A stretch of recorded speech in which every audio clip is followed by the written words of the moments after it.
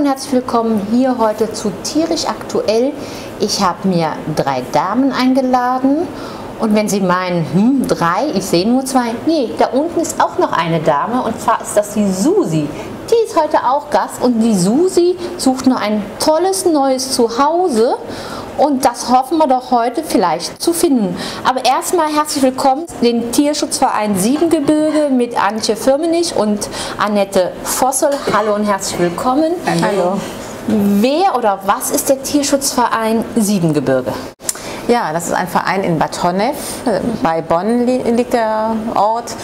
Und ähm, wir sind ein Tierschutzverein, wir haben 440 Mitglieder, also ein kleinerer Verein.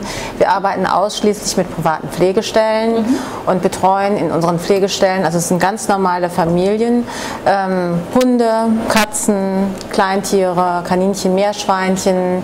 Wir haben auch große Tiere dabei, Pferde. Und äh, ab und zu kommt auch mal eine Schildkröte und ganz wichtig, wir haben natürlich auch eine Vogelpflegestelle, also mhm. die nimmt Wellensittiche auf und äh, also alles, was an Ziervögeln reinkommt. Was ist der Unterschied zwischen Tierheim und privaten ähm, ja, Auffangstationen, sage ich jetzt einfach mal? Ja, also ich finde, ähm, auf der, also es hat Vor- und Nachteile mhm. natürlich. Also der Vorteil an der Arbeit mit privaten Pflegestellen ist, dass die Tiere in eine Familie kommen. Mhm. Die Pflegestellen, also die Familie Tag und Nacht mit diesem Tier zusammen ist mhm. und das Tier natürlich sehr, sehr gut kennenlernt. Und alle Marotten, positive Eigenschaften wie negative Eigenschaften eigentlich äh, sehr schnell feststellt mhm. und eben auch Interessenten, die sich für das Tier interessieren, dann auch mitteilen können. Das ist eigentlich eine Arbeit sehr nah am Tier. Mhm. Wie viele Tiere sind immer so auf den Pflegestellen? Das ist unterschiedlich. Also ich bin Hundepflegestelle mhm. und ich habe zwei eigene Hunde und nehme dann immer einen dritten auf. Okay. Und da ich zwei große Hunde habe, nehme ich dann inzwischen nur noch einen kleinen auf, weil man hat nur zwei Hände und äh, an. Und da haben Sie auch jetzt die Susi übernommen, die ist ja, jetzt genau. drei Tage bei Ihnen. Ja, Erzählen genau. Sie mal ein bisschen was zu Susi. Ja, also die Susi habe ich aus Gran Canaria mitgebracht. Mhm. Da gibt es eine, ein privates Tierheim, mit dem wir schon viele Jahre kooperieren. Und ähm, die Susi ist ein Hund, also kein Streuner. Man denkt ja oft, so in Spanien sind mhm. nur die Streunerhunde. Nein, Susi kam aus einem ganz normalen Haushalt und ähm, der Mann hat leider seinen Job erst verloren und dann auch sein Haus und mhm. lebte auf der Straße, war vollkommen verzweifelt. Er wusste also wirklich nicht, wie er von heute auf morgen sich selber ernähren sollte mhm. und hat dann gesagt, also der Hund ist mir so wichtig, ähm, ich suche dir jetzt ein gutes Zuhause für den und hat dann diese Tierschützerin mhm. angesprochen, mhm. die hat ihn aufgenommen. Ja, und ich habe ihn gesehen und habe gesagt, den nehme ich mit nach Deutschland und für diesen mhm. Hund suche ich eine neue Familie. Wie alt ist sie? Anderthalb mhm. ist sie. Wo kann sie hin? Ähm, eigentlich ist sie ein ganz einfacher, netter, unkomplizierter mhm. Hund. Also sie fährt Auto. Ich war heute mit ihr in der Stadt, Stadt spazieren. Ich habe sie schon ableinen können. Also bisher sehe ich noch nicht viel Jagdtrieb. Mhm. Natürlich ist sie auch noch ein bisschen unsicher, weil, weil sie erst drei Tage bei mir mhm. ist. Also das Kommen auch, sie wird sich noch entwickeln, sie wird ja. noch selbstsicherer werden.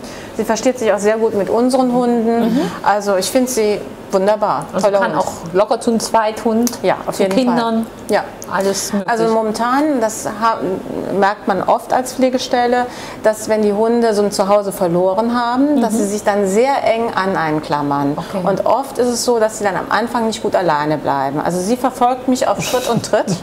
Also läuft mir sogar äh, zur Toilette hinterher. Und ähm, das muss man eben sagen, die Hunde brauchen Zeit. Und da, den Hund kann man jetzt nicht direkt vier Stunden alleine lassen und mhm. arbeiten gehen. Also da würde ich Leute mit Tagesfreizeit suchen. Wenn so ein Hund jetzt auf eine Pflegestelle kommt, ist es mhm. dann nicht für den Hund schwierig, wieder dann ein neues Zuhause zu finden? Also dass er immer wieder so ein bisschen rumgereicht wird, sage mhm. ich jetzt einfach mal. Also diese Bedenken haben viele Leute. Die Frage mhm. wird häufig gestellt. Und ähm, also ich mache das seit zehn Jahren. Und ähm, ich habe festgestellt, dass die Hunde sich sehr schnell umstellen. Okay. Also sie hat sich ja jetzt auch ganz schnell mhm. an mich angeschlossen, aber die Erfahrung hat mir gezeigt, dass die Hunde sich auch ganz schnell wieder auf die neuen Menschen, auf ihre mhm. richtige Familie einstellen. Also das ist mir auch immer ein Trost, weil so ein bisschen bricht einem ja auch das Herz, wenn man nach, nach zwei Monaten oder so einen Hund abgibt. Mhm. Und ähm, dann denkt man, oh Gott, oh Gott, wie wird er sich einleben? Aber bisher war das immer innerhalb eines Tages, zwei Tage mhm. hatte der Hund sich umgestellt. Wie viele Hunde haben Sie so im Moment auf den Pflegestellen? Ähm, ungefähr 15. Das ist ja schon eine Menge. Ja. Haben Sie alles nur Hunde, die kurzfristig in den Pflegestellen sind oder auch Langzeitkandidaten? Nein, wir haben auch Langzeitkandidaten, selbstverständlich. Nicht alle Hunde sind einfach. Mhm. Und ähm, wir haben zum Beispiel die Mandy, das ist ein Schäferhund, der, der, den haben wir aus schlechter Haltung herausgeholt. Mhm. Und ähm, die war eben nicht so ein einfacher Hund. Der hatte mhm. sein Leben lang im Zwinger gesessen, sechs Jahre im Zwinger. Und da war es eben so, dass wir dann äh, den Hund in, zu einer Trainerin in Pflege gegeben mhm. haben. Und die Trainerin hat dann ganz viel mit dem Hund gearbeitet. Und äh, der Hund ist da auch noch auf der Pflegestelle ja. und äh, hat Wahnsinnsfortschritte gemacht. Also er musste alles lernen, Auto mhm. fahren, mhm. an der Leine gehen. Inzwischen ist er gut ableinbar. Also hat sich toll entwickelt. Mhm. Aber das dauert natürlich. Ne? Man kann nicht von null direkt in, in einem Monat auf 100. Wie gehen Sie davor, wenn Sie einen Hund nicht kennen, äh, irgendwie einen Anruf kriegen und sagen, da ist so ein Schäferhund zum Beispiel, der da vielleicht nur im Zwinger sitzt. Ähm, wie gehen Sie davor? Weil es können ja auch mal falsche Anrufe sein. Gehen Sie sich den Hund angucken oder wie machen Sie das? Ähm, also im Grunde genommen ist es so, dass, die, ähm, dass wir dann Trainer haben. Frau Vossel zum Beispiel mhm. ist auch eine Hundetrainerin von uns. Und äh, die haben wir dann angerufen und haben gesagt, kannst du dir bitte diesen Hund mal angucken? Äh, kannst du den einschätzen? Äh, kann, kann man diesen Hund in eine normale Pflegestelle setzen oder ist der so schwierig, dass er äh, zu einer Trainerin müsste? Ähm, bitte guck dir doch den Hund an. Also wir arbeiten ganz mhm. eng mit Trainern eben zusammen. Frau Vossel, wenn Sie da ankommen, lassen die Leute Sie eigentlich immer da rein? Nicht, also wir sind da nicht so herzlich willkommen, ne? nicht unbedingt immer. Manche Leute sind sehr offen, aber sie müssen davon ausgehen. Mhm. Man muss immer davon ausgehen, dass wenn äh, Menschen äh, nicht ordentlich oder im Tierschutzsinne mit den Tieren umgehen, die freuen sich nicht auf uns und mhm. sagen, schön, dass sie endlich da sind. Ne? Also mhm. man muss da schon äh, immer freundlich sein und auch gucken, dass man da einen Einstieg einen netten mhm. findet. Und meist ist es schon so, dass die Leute doch sehr kooperativ sind, dass man denen schon sehr gut vermitteln kann, dass der Hund da irgendwo anders besser aufgehoben ist. Ein äh, Hund gehört nicht in Zwinger. Ein Hund ist ein Rudeltier und der möchte auch beim Menschen sein. Ne? Selbst wenn er keinen zweiten äh, Hund hat, äh, den Menschen braucht er auf jeden Fall. Absolut, ja. ähm, aber nochmal, ich höre immer wieder, dass Menschen sagen, nee, ich gebe das Tier nicht ab, das hat es gut, ja, die haben nicht diese Einsicht ähm, auch immer wieder von Vereinen, die sagen, oh, wir kriegen die Tiere nicht raus, die leben in so mhm. blöden Verhältnissen, wir ja. kriegen die Tiere nicht raus. Ähm, darum immer noch mal meine Frage, ähm, geben die Leute die dann so einfach ab, wenn man sagt? Ähm das, ist, äh, das ist meist eher, äh, das ist schon eher selten, dass mhm. die die freiwillig abgeben. Hier in dem Fall war es zum Beispiel so, dass immer und immer wieder die Nachbarschaft angezeigt hat, okay. dass die Leute auch das Ordnungsamt äh, mhm. da, dort hatten, dass die Auflagen bekommen hatten, dass die Nachbarn beobachtet haben, dass der Tierschutzverein wieder okay. und wieder da war und dass die Leute dann zunehmend mehr Schwierigkeiten bekommen und dann halt die Tiere äh, abgeben. Okay.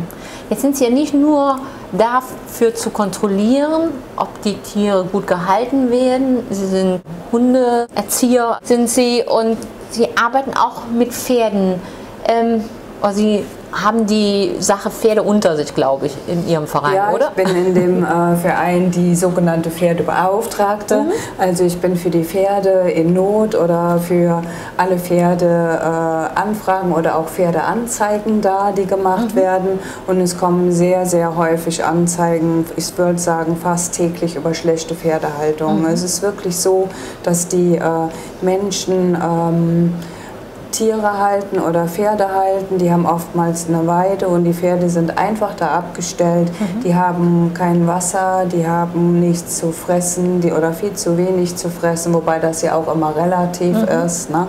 Ein Pferd kommt ursprünglich aus der Steppe, in Wirklichkeit brauchen die nicht so viel. Mhm. Ja? Aber die Tiere sind oftmals da abgestellt Und äh, wie gesagt, die Leute haben da äh, Weideland zur Verfügung und stellen die Tiere da ab und gucken gar nicht nach. Ne? Mhm. Ne? Und da kommen immer wieder Anzeigen äh, über schlecht gehaltene Pferde und man fragt sich wirklich, wofür die Leute die Pferde haben. Das war mhm. früher mal so ein Statussymbol mhm. und heute ist es eher so, äh, dass die Tiere oftmals sehr, sehr, sehr vernachlässigt werden. Eigentlich lästig oder man kann sie nicht mehr bezahlen. Das ist, höre ich auch immer wieder von den Vereinen, dass man sagt, okay, das ist einfach nicht mehr finanzierbar. Absolut, da spiegelt sich äh, auf jeden Fall gerade bei den Pferden die wirtschaftliche Lage auch äh, wieder, ganz mhm. klar. Ein Pferd, das muss jedem oder sollte jedem bewusst sein, was das an Kosten verursachen kann. Wenn Sie ein Pferd ordentlich versorgen, der braucht Futter, der steht irgendwo ein, weil die wenigsten haben einen eigenen mhm. Stall und da können Sie durchaus mit 300, 400 Euro rechnen. Und das ist den monatlich, nicht im Jahr. Mhm. Und das ist den Leuten oftmals überhaupt gar nicht bewusst. Ohne Tierarzt? Ohne Tierarzt, genau. Ne? Ohne Hufschmied? Ohne Schmied, das und, kommt und, noch und, dazu. ja. Genau. Also da kommt ja ganz viel noch dazu. Da kann ganz, das kann ganz, ganz schnell in die Hunderte und auch in die Tausende ja. gehen. Und das machen die Leute sich beim Kauf eines solchen Tieres einfach nicht bewusst. Mhm. Wenn der Tierarzt kommt und das Pferd hat wirklich mal was, ganz Schlimmes. Wir können da, wir haben ein Patentier im Verein, da kommen wir vielleicht gleich mhm. noch drauf zu sprechen, ein Patenpferd, die Avelin. Also da können wir wirklich ein Lied von singen. Mhm. Wenn das Tier mal in die Klinik muss, da sind ganz schnell 2, 3, 4.000 Euro äh, zusammen. Ein Patenpferd, was heißt das? Wir haben vor äh, sechs Jahren ein Pferd von der Rennbahn äh, aufgenommen. Der Verein hat hier und dort schon mehrere Pferde da rausgeholt, weil mhm. Pferde, die auf der Rennbahn gelaufen sind, Sie müssen sich vorstellen, die werden mit anderthalb Jahren schon antrainiert. Da ist ein Pferd gar nicht richtig mhm. ausgewachsen, die Knochen sind noch nicht stabil, der ganze Körper ist überhaupt gar nicht dafür ausgerichtet, um da Höchstleistungen zu erbringen. Und wenn die auf den Rennbahnen ein, zwei oder drei oder maximal zwei Jahre nicht die Leistung erbringen, das heißt nicht so schnell sind, wie sie schnell sein sollen und Preise erbringen, dann werden die Pferde ausgemustert. Und sehr, sehr häufig gehen die Tiere dann zum Schlachter. Mhm. Und äh, die Option stand auch für Avelin offen und so kamen, wurden wir auf das Pferd aufmerksam. Wir haben das Tier äh, übernommen und äh, wollten natürlich auch die Abelin weitervermitteln. Mhm. Was haben Sie dann mit der Abelin gemacht?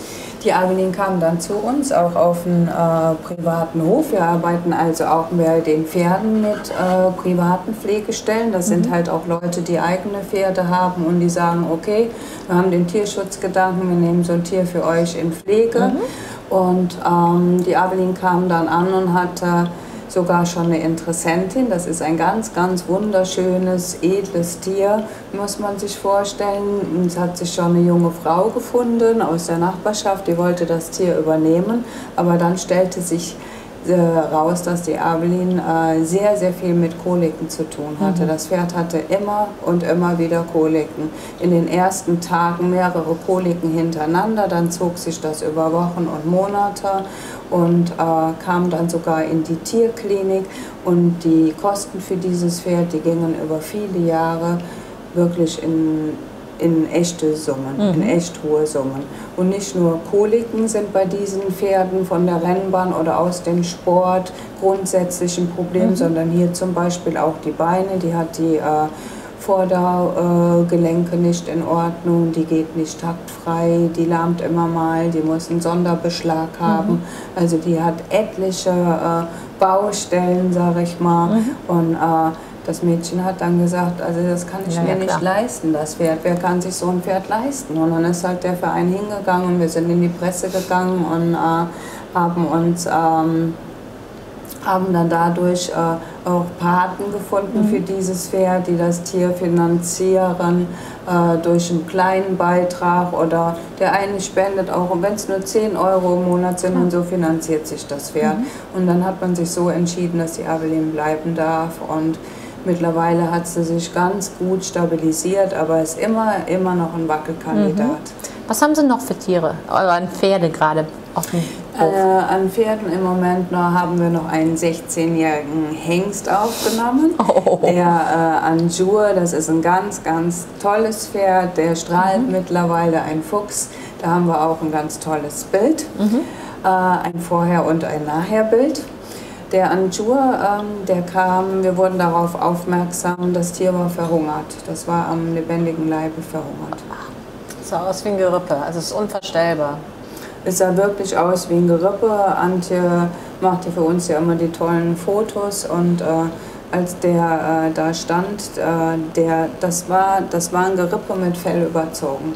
Das Tier war fix und fertig und auch hier ist wie so oft die Situation gewesen, Lebenssituationen ändern sich. Es gab mhm. eine, äh, eine Besitzerin, die hatte insgesamt vier Pferde und konnte denen äh, offensichtlich finanziell nicht mehr gerecht werden, konnte sich aber auch nicht dazu entscheiden, die Tiere abzugeben.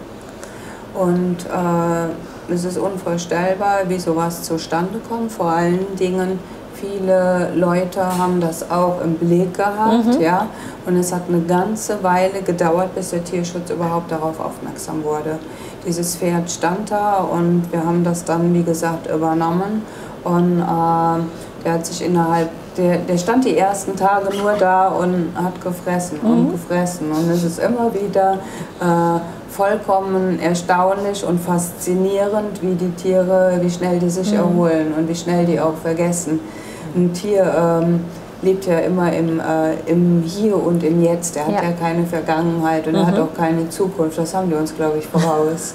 und äh, der hat tagelang gefressen und gefressen und mittlerweile hat er sich so toll erholt. Das mhm. ist äh, wirklich schön zu sehen. Und der bleibt auch oder soll der vermittelt werden? Der Anjur äh, ist vermittelt ah, seit okay. drei Tagen. Wir hatten äh, den Anjur im Internet. Wir arbeiten in der Vermittlung mit vielen anderen äh, mhm. Organisationen in Deutschland zusammen mhm. und haben somit auch ein sehr großes Netzwerk. Mhm. Und äh, eine Frau wurde, eine sehr nette Frau wurde auf Anjur aufmerksam, auf seine Geschichte, auf die mhm. Bilder, auf die Vorher-Nachher-Bilder und hat sich in das Pferd verliebt. Okay. Und äh, wir fahren den Anjur jetzt am Wochenende in sein neues Zuhause und gerade für einen Hengst ist das eine echte Herausforderung, ja. einen Hengst zu vermitteln, weil es ist nicht unbedingt ähm, ähm, äh, zu befürworten oder empfehlenswerten Hengst in dem Alter kastrieren zu lassen. Mhm. Das ist für so ein Pferd ein ganz, ganz enormer Stress. Ja. ja. Und ähm, in seinem neuen Zuhause, da war Hengst bleiben, da sind Schön. sogar andere Hengste auf dem Hof, da sind ganz viele endlose Weiden mit Baumbestand oh, drin. Äh, da sind Hengste und Stuten auch im Stalltrakt mhm. getrennt. Und ähm, eine ganz, ganz tolle Geschichte, weil für einen 16-jährigen ungerittenen Hengst jemanden zu finden, aber wir sagen immer, also mein Spruch ist immer so, äh, für jeden ist irgendwas da, man muss nur Geduld haben und mhm. warten. Jeder Topf kriegt einen Deckel. Jeder genau. Topf kriegt einen Deckel, genau. ja. Wie finanzieren Sie das alles? Die ganzen Tiere, die ganzen Privatstellen, die Sie haben. Wie wird das alles finanziert?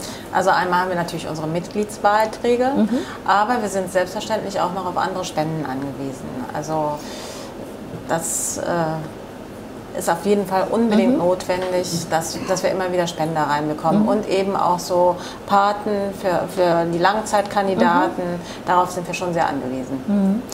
Ähm, es ist es ja so, dass sie nicht nur Hunde und Pferde haben, sondern sie haben auch Katzen mhm. und Kaninchen mhm. und auch eine Vogelstelle. Genau. Mhm. Ähm, was sind da für Tiere? Also bei der, auf der Kaninchenstelle ist ja ganz klar, sind Kaninchen, mhm. ja. Wie viel haben Sie davon da?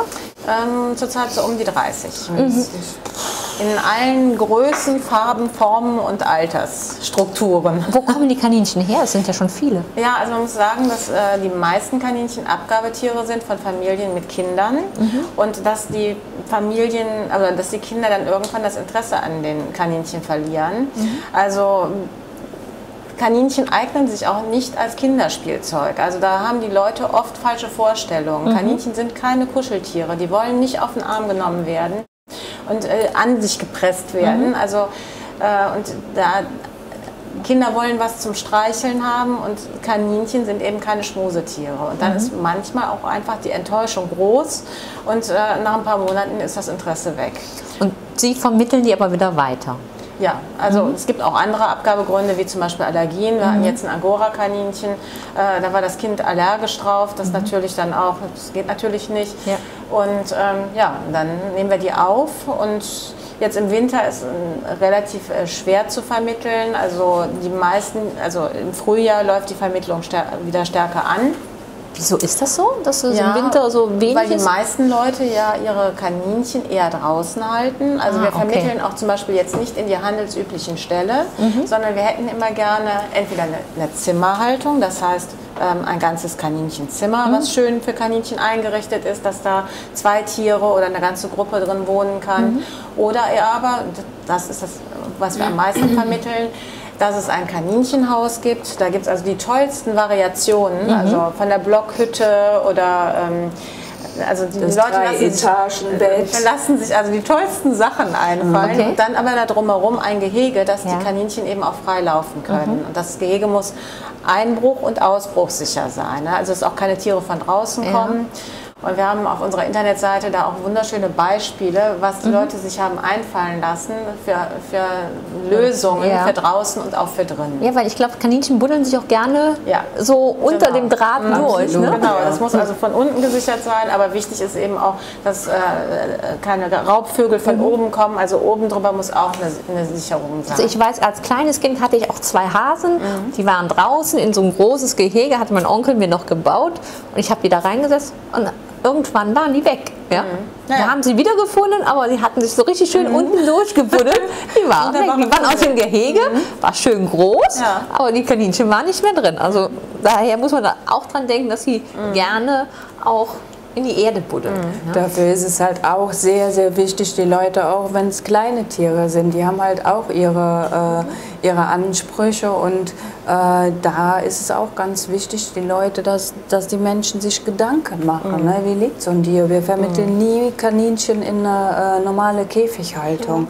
Und, und wie keine, viele, ein, keine Einzelhaltung ist auch Keine Einzelhaltung, das wollte ich gerade sagen. Wie viele Kaninchen sind da äh, für ein Kind angeschafft? Die Leute sind nicht nur bei den Kaninchen, bei den Tieren überhaupt gedankenlos. Die sperren so ein Tier in einen Käfig und das Kind holt es dann mal zehn Minuten am Tag und dann wieder hinein. Das ist absolut ganz, ganz schlimm.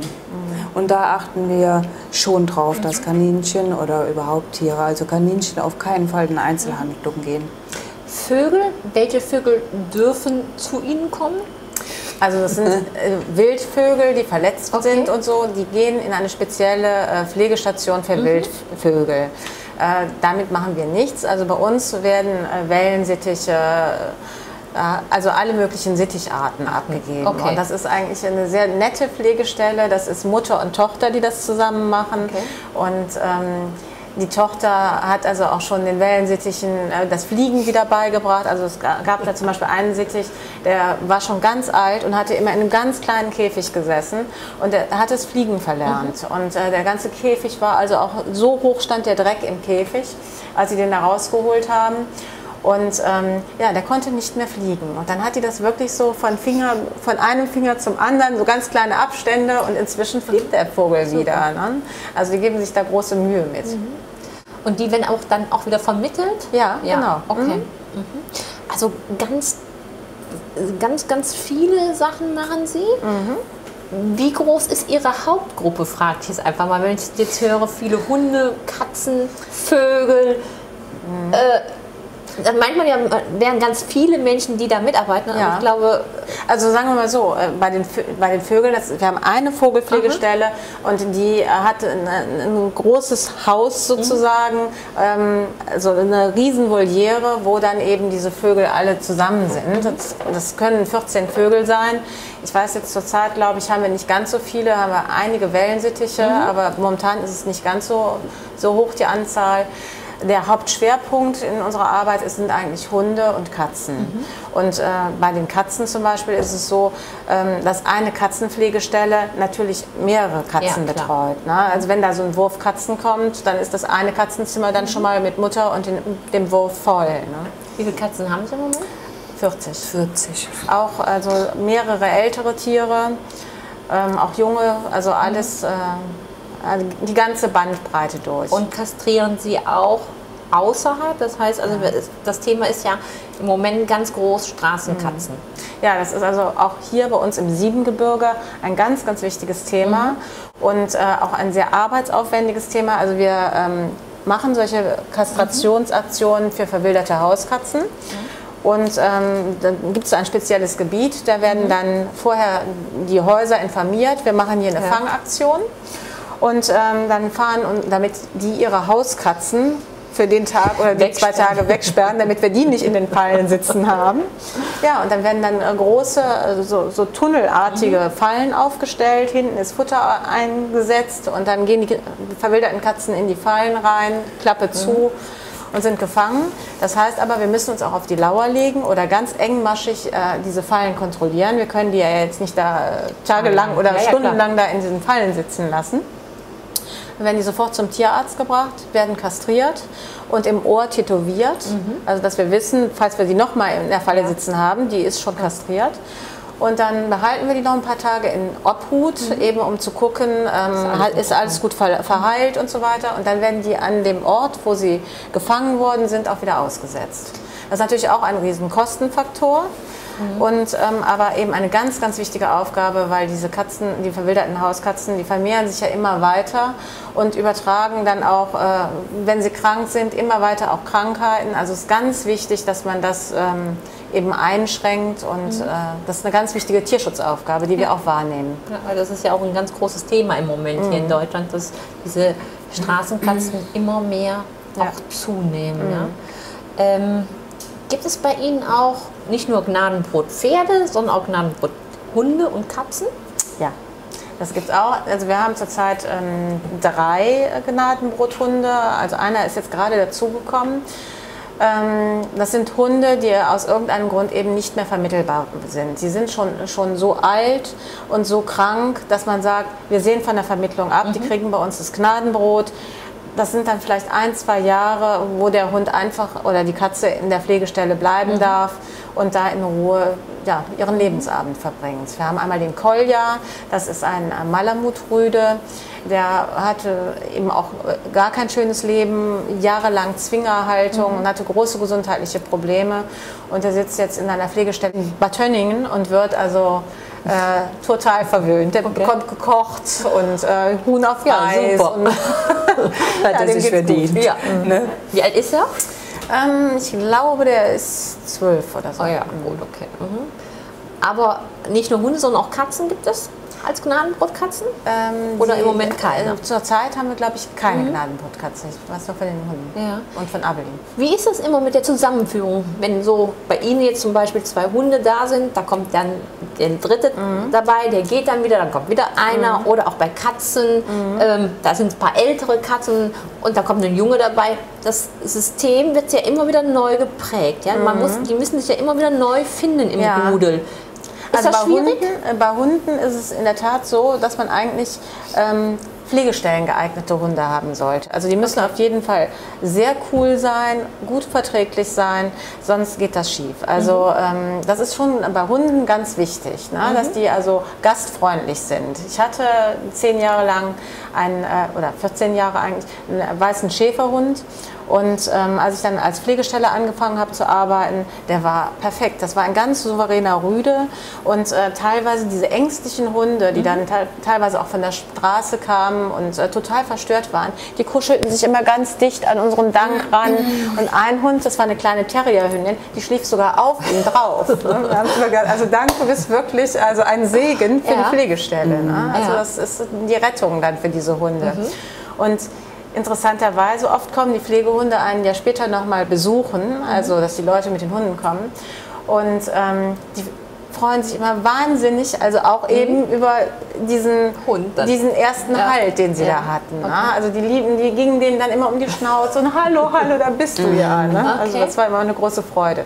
Also das heißt, Sie können nicht alle Hunde aufnehmen, Sie müssen schon gucken, dass die auch wirklich pflegestellentauglich sind. Ähm, ach so, ja, also die, natürlich muss ich auch gucken, mhm. dass wenn jetzt ein Hund reinkommt, der sollte schon eben verträglich Mhm. sein. Ne? Man möchte natürlich auch nicht, dass, seine, dass die eigenen Hunde gebissen Ja. werden. Das ist natürlich ganz wichtig. Nicht nur die eigenen Hunde müssen verträglich sein, sondern auch die, die, die reinkommenden Hunde. Und bei mir ist es zum Beispiel so, ich habe auch ein Kind. Und äh, als ich damit angefangen habe, war meine Tochter ähm, vier. Und da habe ich dann schon gesagt, also ich brauche, wenn, einen Hund, äh, der keine Gefahr für mein Kind darstellt. Und das ist eigentlich das Schöne als äh, Pflegestelle in so einem Verein mit einem Netzwerk, dass man dann auch sagen kann, es geht gar nicht, es klappt gar nicht, der Hund muss umgesetzt werden. Das machen wir natürlich nicht gerne. Also Ja. wir versuchen ja eine Stabilität für den Hund herzustellen. Aber wenn, wenn irgendwie das Kind in Gefahr ist, wenn man da das Gefühl hat, das geht nicht, dann wird eine andere Pflegestelle dafür gesucht. Das Aber ansonsten klar. kann man das sehr schön sehen, ob ein Hund zum Kind passt, ob Kinder im neuen Zuhause sein dürfen oder besser Ja, nicht. absolut. Gibt es auch Pflegestellen, wo Katz und Hund zusammen ist? Ja. Also die Leute, die Pflegestelle machen, sind ja meistens absolute Tierfans. Und diese Kombination Hund-Katze haben wir sehr, sehr häufig. Und ähm, das sind natürlich auch oft ganz, ganz coole Leute, die dann also auch, wir haben jetzt zum Beispiel eine Pflegestelle, die macht das schon seit 25 Jahren, das ist unsere älteste Pflegestelle. Und der hat mehrere Hunde und mehrere Katzen. Und da ist jetzt gerade ein kleiner Terrierrüde reingekommen. Und äh, dann sagt sie immer so, oh, der, der jagt bestimmt wieder die Katzen. Und dann sage ich immer, du schaffst das. Also, und so ist es auch. Ja. Ne? Die, die gewöhnen sich ganz schnell daran, die Katzen nicht mehr zu jagen. Und das ist eigentlich auch ein Vorteil. Dieser Hund kann also auch Katzen. zu anderen Katzen. Und das ne? ist ja auch der Vorteil von den privaten Pflegestellen, ne? dass Ja. man das also wirklich in, im Gegensatz zum Tierheim, dass man das halt auch wirklich äh, ausprobieren kann und den Hund abgeben kann und sagen kann, der ist katzenverträglich und der verträgt sich mit Kindern. Und wenn die Tiere jetzt in den Tierheimen sind, dann ähm, ist das ja lange nicht gegeben, dass man das alles ausprobieren kann. Klar. Ähm, jetzt haben sie ja nicht nur erwachsene Hunde, sondern sie kriegen ja auch bestimmt Welpen. Ja, wir haben gerade einen ganzen Wurf Welpen bekommen. Die Hündin war trächtig. Und wir haben Super. zwischen Weihnachten und Neujahr hat die Pflegestelle da gesessen und äh, Notruf abgesetzt. Kannst du kommen? Es geht jetzt gleich los. Ich will damit nicht alleine sein. Ja, und dann haben, haben also zwei Pflegestellen zusammen die Geburt betreut. Was sind das für Welpen? Ja, das sind so, ich sag jetzt mal, also die Mutter ist ein explodierter Dackelmix. also ein etwas größer, größerer Dackel sozusagen. Und ähm, ja, die sind jetzt gerade ein paar Tage alt, ne? aber es klappt sehr gut. Also, Aber Vater weiß man noch nicht. Ja, also wir haben einen Verdacht, aber genaues wissen wir nicht. Also und wir- sehen auch sehr unterschiedlich aus. okay. Ne? Also äh, es sind sieben Welpen und fünf sehen relativ gleich aus und eins sieht aus wie ein Meerschweinchen mit einem weißen Schwanz. Also es ist also wirklich ein Überraschungspaket. Das ist ne? dann, dann natürlich noch mal wirklich toll, wenn man dann ein Tier aufnimmt und auf einmal ist die auch noch trächtig und da kommen dann auch noch Welpen. Dann hat man doch ganz schnell Ja. ja. ganz viel Arbeit noch mal. Ne? Ja, auf jeden Fall. Da sind natürlich auch kooperative Leute gefragt. Ne? Also Ja.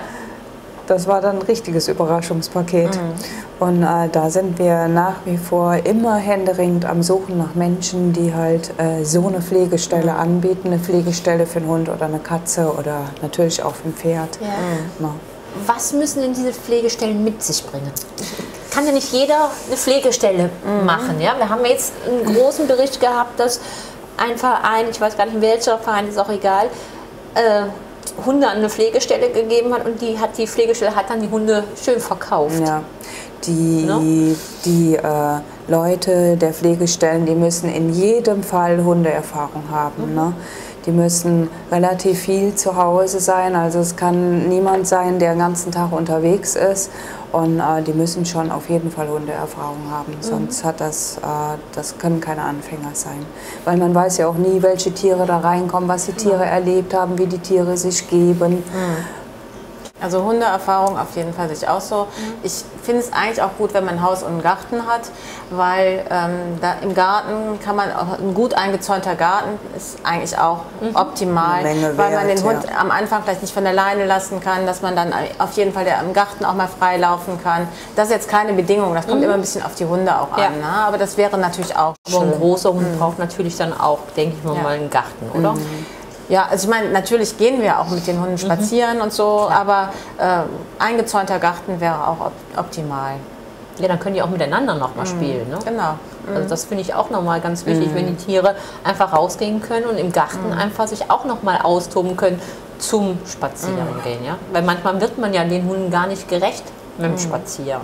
Was so ein bisschen schade ist, ähm, es ist ja schwierig, überhaupt Pflegestellen zu finden, die ko- kompetent sind und äh, das gern machen und dabei bleiben. Und das ist nämlich genau der Punkt mit dem Dabeibleiben. Oft ist es so, dass die Leute ein, zweimal Pflegestelle machen und dann spätestens den dritten Hund aber behalten, weil der so toll ist, dass sie ihn nicht mehr abgeben wollen. Ja. Ja, und das ist dann natürlich für uns schade. Dann haben wir gerade die Pflegestelle schön eingearbeitet. Also wir äh, machen uns ja auch viel Arbeit damit. Also es ist jetzt nicht so, dass die Leute da allein gelassen werden, sondern wir betreuen die ja auch engmaschig äh, mit allen Fragen. Die werden ausgestattet, also bekommen Futter, alle Utensilien, die sie brauchen. Ähm, alle Kosten werden erstattet. Und ähm, wenn dann so nach drei vermittelten Hunden ist die Pflegestelle dann wieder dicht. Ne? Ja, ja, das ist natürlich klar. dann ein bisschen schade Ja. für uns. Aber auf der anderen Seite hat dann so auch ein Hund ein gutes Zuhause gefunden. Aber ich glaube, es ist schon schwer. Also ich könnte es nicht. Ich glaube, ich würde auch jeden Hund und jede Katze behalten. Ja. Ich könnte sie auch nicht mehr abgeben. Da muss man sich halt oder sollte man sich wirklich äh, den Tierschutzgedanken vor Augen halten und äh, äh, sich Gedanken darüber machen, dass ich dem Tier den Weg in ein neues Leben ermögliche. Und äh, da drin gehen eigentlich die Leute, der, die das schon lange Zeit machen und immer wieder machen, auch äh, drin auf. Ne? Das ist einfach eine Freude zu sehen, man kann die ja nicht alle behalten. Ne? Wäre wär schön, aber ist ja nicht machbar. Und das ist einfach das Ziel, was man vor Augen haben sollte. Und diese Freude an dem Tier zu sehen, boah, habe ich was Gutes gemacht und ein tolles Werk und das Tier hat ein neues Zuhause und dann kann doch der nächste nachrücken. Das ist auch, auch schön. Also wir haben im äh, Jahr immer zwei Veranstaltungen, zwei große, ein Sommerfest und einen Tiergottesdienst. Und das, dazu laden wir eben auch unsere, die Menschen ein, denen wir Hunde vermittelt haben. Und dann ist das immer ein großes Hallo. Und das ist für mich als Pflegestelle auch eine große Freude, dann diese Hunde zu sehen und die Leute, wie stolz sie dann mit ihren Hunden ankommen. Und ach, der ist jetzt Sieger in der Hundeschule geworden. Der hat also alles mit der Bestnote 1 bestanden. Und also es ist wunderschön zu sehen, wie die Menschen dann auch mit ihren Tieren zusammenwachsen. Und das ist eigentlich der Lohn für unsere Arbeit. Also das zu sehen. Ne? Klar. Wo kommen die Tiere her? Was machen sie oder wo unterstützen sie mit ihrem Tierschutz? Also ähm, wir ne- machen natürlich Tierschutz vor Ort Mhm. im Siebengebirge, aber wir ähm, ma- machen auch Auslandstierschutz. Also wir Mhm. arbeiten mit Gran Canaria zum Beispiel zusammen. Ähm, wir nehmen aber auch Hunde, also mit festen Vereinen arbeiten wir zusammen, zum Beispiel aus Rumänien. Mhm. Da haben wir den kleinen Max, der ist jetzt äh, gerade aus Rumänien äh, gekommen. Mhm. Ich denke, Rumänien ist inzwischen allen ein Begriff. Äh, was da mit den Hunden passiert, ist ja Mhm. wirklich furchtbar. Und äh, Max ist jetzt zum Beispiel auf einer Pflegestelle, bei, bei unserer ältesten Pflegestelle, die schon 25 Okay. Jahre dabei ist, äh, ist es da so, dass äh, der Max da ankam und vollkommen verängstigt war. Ne? Also der hat vier Wochen nur unterm Tisch gesessen und sich nicht rausgetraut. Und äh, das ist natürlich... Ja, ich möchte nicht wissen, was dieser Hund erlebt hat. Und dann habe ich aber gedacht, diese Pflegestelle kriegt es hin. Also wenn einer, dann diese. Die hat einfach Geduld. Die hat natürlich auch andere Hunde, die immer wieder zu ihr kommen und dem Hund zeigen, äh, du kannst, kannst. Vertrauen haben. Und ich komme dann immer in regelmäßigen Abständen dahin und dann sehe ich eben auch diese Entwicklung. Ne? Erst saß er hinterm Küchenschrank oder unterm Tisch und man sah nur diese großen ängstlichen Augen. Und inzwischen, also wenn Frauen reinkommen, bei Männern hat er immer noch Angst, aber bei Frauen ist es dann so, dass er dann wirklich ankommt und dann ganz vorsichtig sich streicheln lässt und der hat natürlich noch einen- einen Weg vor sich. Ne? Also bisher ist sie noch nicht mit ihm spazieren gegangen weil, weil er eben noch zu Hause auch noch so viel Stress hat. Ne? Also das sind noch einige Etappen, die dieser Hund machen muss. Aber da könnte ich mir auch vorstellen, wenn Leute Erfahrung mit ängstlichen Hunden haben, dass die in diesem Max einen ganz tollen Hund auch bekommen. Was ist ne? es für einer? Ähm, es ist ein äh, sch- schwarz-weiß gescheckter Hund, äh, so Mittelgroß. groß wie auch ähm, Susi, also so äh, 40 cm Schulterhöhe. Also wir haben auch ein schönes Foto von Max Und äh, ja, vielleicht findet er ja, Ja. hier über diesen Weg ein neues Zuhause. Also am liebsten so zu älteren Ehepaar oder zu ja, ruhigeren also, Leuten? Hund, also Hundeerfahrung und vor allem Dingen Erfahrung mit ängstlichen Hunden wäre sehr wichtig. Kleine Kinder würde ich nicht machen, also nicht weil er böse ist, aber er ist ängstlich Ja. und ähm, man sollte, also die sind einfach Ah, ja, zu klar. wild. Und Leute halt, die äh, Zeit haben und die Geduld Mhm. haben. Es ist immer wieder so, dass wir sagen, und dass es sich immer wieder bestätigt, die Tiere brauchen Zeit. Die Mhm. brauchen einfach Zeit. Wir wissen nie, was die Tiere erlebt haben, was die hinter sich haben. Und die brauchen Zeit und die brauchen Sicherheit und äh, damit alles gut. Mhm. Wie geht jetzt so eine Vermittlung ab, wenn einer sagt, okay, ich würde gerne einen Hund oder eine Katze Mhm. äh, von Ihnen nehmen? Was muss der mitbringen? Was kontrollieren Sie? Also mal erst telefoniere ich äh, ganz ausführlich. Also die Katzenpflegestellen machen das auch so, wie, wie ich jetzt den Verlauf bei den Hundepflegestellen äh, beschreibe. Ich telefoniere mir erst ganz ausführlich, weil man am Telefon schon auch viel mitbekommt. Also und wenn ich dann das Gefühl habe, oh, das könnte passen, dann lade ich die Leute zu mir nach Hause ein.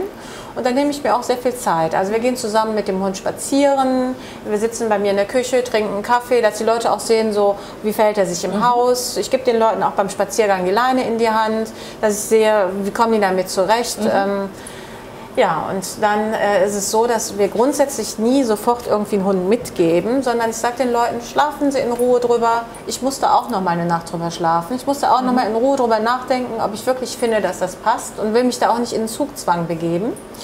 Und ähm, wenn die dann am nächsten Tag, meistens rufen die am nächsten Tag dann an und sagen, also wir haben uns verliebt, wir möchten den gerne. Und wenn ich dann auch der Meinung bin, dann ähm, bringe ich den Hund in sein neues Zuhause. Okay. Damit mache ich auch eine Vorkontrolle. Und wenn ich dann das Gefühl hätte, es ist noch nie vorgekommen, aber wenn ich das Gefühl hätte, "Hm, das stimmt ja alles gar nicht, was die mir erzählt hätten, kann ich ihn immer noch wieder mit nach Hause nehmen.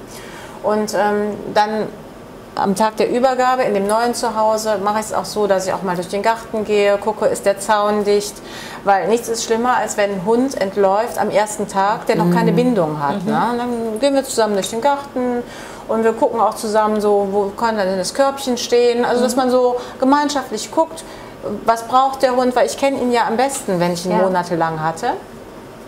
Ja, und dann kommt der Moment des Abschieds. Der, der fällt mir wirklich auch immer schwer. Und ich gehe aber meistens dann, äh, ich sage den Leuten so, wir haben jetzt alles geregelt, wir haben einen Schutzvertrag gemacht und so weiter. Und ich gehe jetzt, ich verabschiede mich nie vom Hund. Ich gehe ganz schnell raus Ja. Und sage den Leuten dann, äh, wenn der jetzt Theater macht oder weint oder so, gestehen Sie ihm das zu, dass er trauert. Aber erfahrungsgemäß ist es so, dass sie sich wirklich dann relativ schnell umstellen. Und das ist mir dann immer ein großer Trost. Ich rufe dann immer abends dann nochmal an Ja, und sage, klar. wie macht es sich? Ne? Jault er noch oder ist alles gut? Und äh, meistens ist alles gut. Und dann bin ich auch, dann kann ich auch erleichtert dann äh, sagen, kann ich loslassen. Wenn Sie jetzt so misshandelte Tiere oder sowas entgegennehmen ja, und auf Ihre Pflegestellen haben, merken die Tiere, dass es ihnen dann auf einmal besser geht? Die merken das ganz schnell. Okay. Also auf jeden Fall. Die, ähm, natürlich verändert sich so ein Hund nicht von heute auf morgen. Ja? Und äh, wie jetzt hier der Max, der dann äh, noch wochenlang unter dem Sofa sitzt. Ne? Aber äh, ich bin mir sehr sicher oder wir sehen immer wieder, dass die Tiere, die, die kommen ganz einfach, die, die brauchen eine Weile, bis sie ankommen, aber ein Tier merkt sehr, sehr wohl, wer es äh, gut oder nicht gut mit ihm meint. Wenn ich jetzt so ein Tier übernehme, es ist bei mir zu Hause, was muss ich am meisten beachten, wenn so ein Tier nach Hause kommt? Wo muss ich drauf achten? Wie muss ich ihm die ersten paar Tage ähm, das Einleben schöner machen? Also ich finde immer, das, also mal erst das Wichtigste eben, dass er nicht entläuft. Also mein Ratschlag ist immer ähm, direkt Halsband eng genug, dass man nicht hinterher beim ersten Spaziergang, wenn der Hund scheut, das Halsband in der Hand hat mit der Leine und der Hund ist weg. Und auch eine Marke, eine Telefonmarke an den Hals, dass falls er entläuft vom Grundstück, dass er schnell wiederfindbar ist. Wobei wir aber auch äh, immer mit dem Schutzvertrag zusammen ein Tasso-Formular ausfüllen und den Hund sofort bei Tasso registrieren. Also das finden wir auch sehr, sehr wichtig. Ähm, ansonsten rate ich den Leuten auch, den Hund nicht zu sehr zu bedrängen, sondern den Hund kommen zu lassen. Also den Hund, auch wenn er trauert, dann nicht ständig äh, Aititai um den, um den Hund zu machen, sondern ihn dann auch mal trauern zu lassen. Also irgendwann kommt er. Und wenn er dann kommt, dann kann man ja auch was Ja. mit ihm machen. Ne? Also praktisch das Tier kommen lassen. Genau. Dem nicht so überfallen und sagen, Genau. oh, Mhm. nicht bedrängen. liegt- Ja. nicht bedrängen, das liegt ja auch nicht in der Natur des Hundes. Ja? Da kommt ja auch keiner und sagt, ach du Armer. Ne? Der, Hund, der Hund muss die Möglichkeit haben, sich seinem Rudel anzuschließen und das macht er auch. Ne? Der braucht ein bisschen Sicherheit und die kommen schon von alleine. Also immer falsch ist, wenn äh, noch Kinder im Haushalt sind und die Hunde mit den Hunden spielen wollen und die Hunde kuscheln. Also ganz, ganz wichtig ist, die Tiere einfach mal zu lassen und ankommen zu lassen und Ruhe einkehren zu lassen. Ja. Vielleicht auch einfach mal im Haus zu lassen oder nur in den Garten raus, bis er sich mal so in sein Umfeld gewöhnt hat und dann ein paar Tage später mal loszugehen und die Welt so nach und nach zu erkunden. Und nicht direkt die ganze Nachbarschaft einladen. Oh, kommt mal alle her, ich habe hier einen neuen Hund. Ne? Großes Fest machen. Ja, genau. Und der Hund ist weg. Mit manchen Hunden geht das Ja, ja, vielleicht, klar. aber das kommt immer ein bisschen auf den Hund an. Ne? Ähm, wie cool muss man eigentlich sein, wenn man so eine Pflegestelle hat? Sehr cool oder? Ja, also wie, wie soll man sagen? Sehr Hunde, oder nicht sehr hundeerfahren, aber eben hundeerfahren sollte man auf jeden Fall sein. Äh, man muss natürlich auch damit rechnen, dass äh, ein Hund auch zum Beispiel am Anfang vielleicht nicht stubenrein ist. Also ähm, wer da äh, weiße Teppiche hat, ist vielleicht nicht die optimale Pflegestelle. Also es kommt immer auf den Hund an. Also sie zum Beispiel ist absolut stubenrein. Die hat mir nicht einmal reingemacht. Und, äh, also es kommt eben sehr drauf an. Aber man sollte schon ein bisschen cool in Bezug haben. auf Dreck und äh, Pipi machen und sowas sollte man schon sein. Und es kann auch mal was kaputt gehen. Also gerade so Welpenpflegestellen bei uns, ähm, die haben dann schon mal angeknabberte Stuhlbeine zu verzeichnen oder angeknabberte Schuhe oder sowas. Ja. Also das, damit muss man auch rechnen. Ne? Also sollte man sich schon ganz genau überlegen, welches Tier man zu sich nach Hause holt. Möchte ich Ja. einen Welpen haben, dann Genau. muss ich auch wissen, Ja. dass er mir mal was kaputt machen kann. Ja? Absolut. Oder habe ich einen älteren Hund, der schon wesentlich ruhiger ist. Genau. Mm, Und so beraten wir auch. Also wir bieten auch auf, an, auf unserer Internetseite eine Beratung an mit Telefonnummern. Und äh, wenn Leute da irgendwie unschlüssig sind, dass wir dann einfach mit denen telefonieren und äh, uns diese Lebenssituation anhören und dann sagen, was wir dazu meinen, was für ein Hund passen könnte. Wenn jetzt schon einer einen Hund hat und dann noch einen zweiten sagt, okay, dann kann ich auch noch einen zweiten nehmen, ähm, ist ja nicht so viel Unterschied, ob man einen Hund hat oder zwei, oder? Also ich finde es nicht, weil die erziehen sich so ein bisschen von selber. Wenn man einen hat, der sehr souverän ist, dann erziehen die sich eigentlich fast von selber, finde ich. Die gewöhnen sich natürlich auch die, die gegenseitigen Macken schnell an. Also, Klar. man, also oft sagen man, also ich habe schon oft erlebt, dass Leute sagen, äh, unser erster Hund ist nicht anständig erzogen, aber sagen dann, der ist nicht richtig ausgelastet. Wir möchten gerne noch einen, einen Spielfreund für ihn haben. Grundsätzlich ist das natürlich schön für zwei, äh, also zwei Hunde zu haben, Ja. dass sie miteinander spielen. Aber das ist keine Lösung für mangelnde Erziehung. Also ich finde klar. immer, der Ersthund muss top erzogen oder sehr gut erzogen Ja. sein. Dann kann man einen unerzogenen Zweithund dazu nehmen.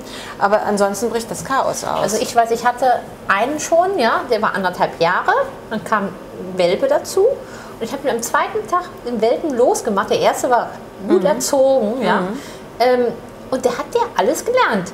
Die pinkelt heute noch wie ein Rüde. Ja? ja, also die hat ja wirklich alles beigebracht, ja. Und der, ich weiß, der Große von mir, der hat einen Teddy gehabt, den hat er wirklich geliebt, den machte der nicht kaputt. Anderthalb Jahre hat er den wirklich gehegt und gepflegt, ja. Und die kam und hat den innerhalb von zwei Stunden hatte die den zerrissen. Der guckte mich an, als ob er sagen will, hey, die hat einfach meinen Teddy zerrissen. Der war wirklich so traurig darüber, ja. Also so, so diese, der guckte mich an, als ob er sagen will, und jetzt, ja. Aber der hat die wirklich erzogen. Ich durfte alles mit dem machen. Ja, das ist natürlich auch eine gute Konstellation dann gewesen. Wenn ein anderthalbjähriger Hund noch einen Welpen dazu bekommt, was nicht zu empfehlen ist, dass wenn ein alter Hund im Haus ist, dass man dann da einen Welpen noch zuholt oder einen sehr, sehr jungen Hund. Kann, kann passen, aber eher nicht. Ne? Da sollte man auch an das ältere Tier und seine Bedürfnisse denken. Auch ganz wichtig. Ne? Manchmal denken die Leute, naja, der alte Hund, der lebt nicht mehr lange, dann hole ich mir schon mal noch einen jüngeren. Aber damit grabe ich dem alten Tier natürlich auch äh, vieles die Luft ab. Oder? Ja. Also man sollte schon gucken, dass wenn man sich einen zweiten Hund holt, dass es wirklich passt, vom Alter her. Ja? Ähm, und auch ähm, so, dass es einfach so ist, dass sie sich ergänzen. Genau, ja. Und das ist eben auch das Schöne an, an der Pflegestelle, dass die Leute mit ihrem Ersthund bei uns vorbeikommen können. Und wenn man sich unsicher ist, also ich möchte auch immer gerne, dass die Leute sich sicher sind. Ja. Dann sage ich, wenn sie sich unsicher sind, kommen sie noch mal spazieren. Und wenn sie möchten, kommen sie auch noch mal spazieren. Dass man einfach sieht, äh, wie gehen die beiden Hunde miteinander um, ist der eine genervt oder nicht. Stimmt da die Chemie? Also da hat man ja Zeit, um das zu testen. Ja. Ja. Aber in der Regel ist es ja schon schöner, wenn sie zu zweit sind, oder? Ja, ich, ähm, ich persönlich finde es schon schöner, weil äh, die sozialen Kontakte, die sind schon wichtig für so ein Tier. Die können zusammen spielen und raufen und äh, zwei Hunde ist schon immer schöner. Und eigentlich, ob ein Hund oder zwei, der Riesenunterschied ist nun wirklich Nee, das glaube ich auch nicht. Also das sehe ich auch so. Also ob jetzt ein Hund da ist, fressen müssen, muss der eine auch. Also kann man Ja. auch dem zweiten noch ein bisschen fressen geben und noch ein schönes Zuhause natürlich. Man muss natürlich Zeit haben. Ich glaube, das Ja. ist ganz, ganz wichtig. Man ja. muss Zeit haben und äh, das ist halt bei jedem Tier so, dass man sich wirklich Gedanken macht, kann ich das alles leisten und kann ich das äh, erfüllen und dass ich mich belese und äh, informiere, was braucht so ein Tier, wie leben die, ist das ein Einzeltier, ist das ein Rudeltier, ein Hund, was braucht der, ein Hund braucht auf jeden Fall in, in allererster Linie immer Bewegung, ne? ein Tier, ein Hund braucht Bewegung, kann ich dem Tier das geben? Da gibt es ja auch ältere Menschen, die durchaus noch das Bedürfnis haben, einen Hund, muss ich äh, einen Hund äh, äh, sich zu halten. Das ist ja auch schön. Jeder sollte sich halt Gedanken machen und dementsprechend halt auch vielleicht äh, die Rasse aussuchen. Ne? Gucken, welche, welche Anforderungen und welche Eigenschaften hat dieses Tier. Ne?